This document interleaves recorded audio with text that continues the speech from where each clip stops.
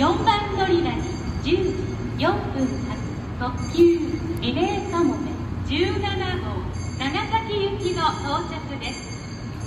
危険でしたら黄色い点字ブロックの内側まで下がってお待ちください。ご乗車の際は列車とホームとの間が広く空いているところがありますのでご注意ください。4番乗り場をご注意ください。